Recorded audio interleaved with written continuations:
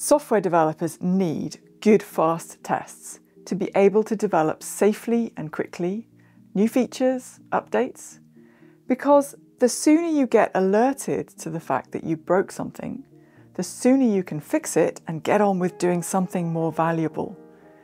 Fast unit tests are the basis of a good testing strategy. And there are some bugs that unit tests just won't find you will need some form of integration tests. But as Martin Fowler has pointed out, the term integration test can mean a lot of different things. In today's video, we're going to look at an example of a narrow integration test for an outbound port. We're going to strategically use mocks to limit the scope of the test and look at why that makes your test better. Hi, I'm Emily Bache. I'm a software developer, creator of Samman Coaching. Welcome to my channel. This video shows a coding demo, which is an excerpt from more comprehensive video training materials that I use in my work as a technical coach. Take a look at my website for more information about that. In this project, I've got several classes and interfaces, which are supposed to make up a kind of hexagonal architecture. And this class, Enterprise Phonebook, is in my domain layer and it uses a couple of ports to communicate with other services. So it's got an authorizer and an alerter. So the authorizer is used here in the lookup method to check whether we are authorized to look up this name in the enterprise phone book. And this is an interface. Uh, this is the port, and it's as simple as I could make it. It's literally got no arguments. It's just going to tell you should it authorize or not. So this port has got a corresponding adapter class that implements it. And this is the, the actual functionality in the adapter that's going to go away and use a, an HTTP client to go and make a request to uh, the, the remote server and then interpret the response. Now, I've deliberately put a bug in here uh, so that the, I can write when I write a test for this, it will be more interesting. Um, so basically, I'm I'm telling it that at the moment it's going to say that we're authorized unless we get a 403.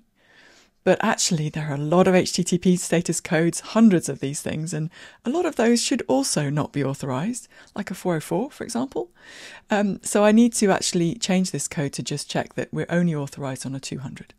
But I'm going to leave that bug in there for the moment because I want to show you how to write a test for this adapter class. So I made a start on creating a, a class here for my security clearance authorizer test. And I've been thinking about a couple of test cases. Um, if um, the server returns 200, then is authorized. Um, if the server returns 404, then is not authorized. And that's going to hopefully trigger that bug that I showed you just now. So these are the two cases that I want to write. Now let's start with uh, a test case. And I can use this as the, the name of the test case.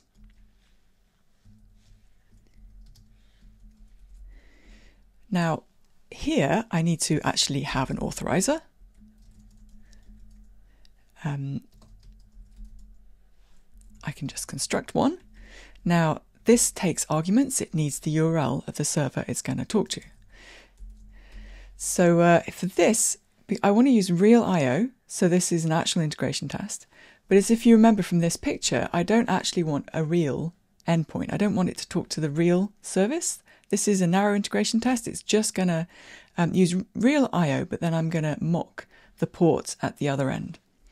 So I need um, an actual server to be running that where I can control the kind of responses that it gives. So that's what I've made a little bit of preparation work here. I've got an HTTP server lifecycle, JUnit 5 extension, and it's got this um, before each callback so that before each test in this class, it's going to actually start an HTTP server and store that in a static field where I can go and grab one. So I'm going to use that uh, so let's let's get that. So I need to use my HTTP server lifecycle to get the HTTP server.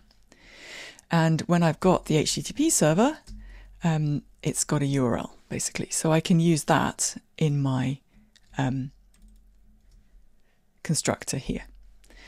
So then I need to make an assertion. Uh, so we'll set true um, the authorizer is authorized. So that's for this case. Um, and this one, I want it to return um, a Boolean. I want it to return true. I want it to return a 200 from my HTTP server. So I need to configure this HTTP server with uh, that it's going to return a 200. So if I go and have a look at this lightweight HTTP server, this is a class I kind of knocked together.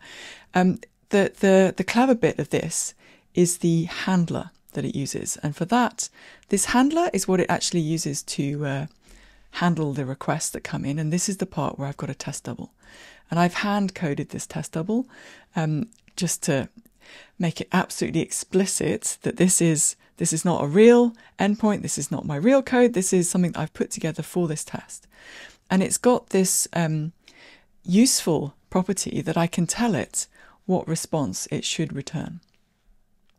And uh, so for this test, what I want to do, if I go back to my test case, so I need to configure this HTTP uh, server's um, handler set the response. I want it to return a 200 um, with the message OK. And then that should be authorized. So I'm going to be able to run this test now. And it's it takes a little while to, to start up because it needs to start that HTTP server. So it's obviously going to be slower than a normal unit test. And this is Kotlin, so it also has quite a slow startup time. Um, but it's hopefully going to eventually come up with the idea that this is going to pass.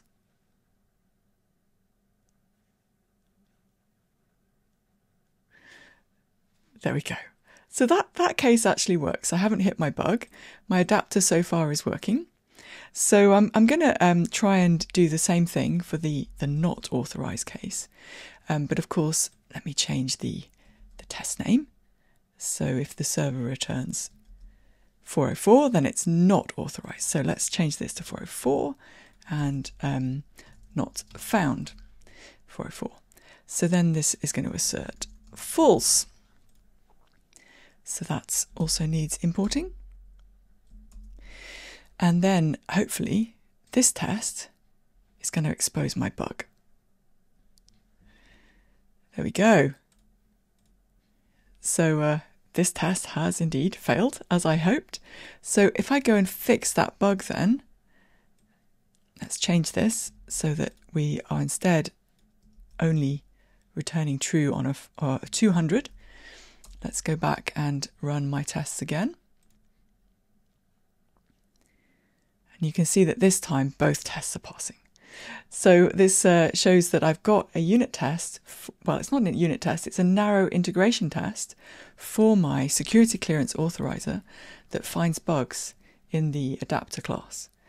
And this is what I set out to do. I'm just going to tidy up my tests a little bit. I don't need these comments now I turn them into tests. But what I'd like you to be able to do now is to build on what I've done here, go and get the code. And if I if you remember, this enterprise phone book actually had two ports that it was using.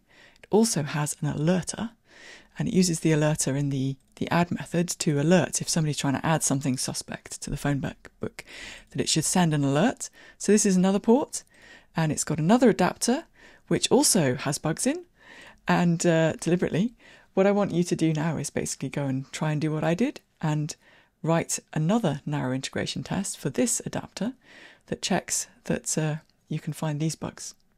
Next time you're waiting for your slow, broad integration tests, I hope you'll spend a few minutes thinking about how you could instead use this kind of technique to write narrow integration tests.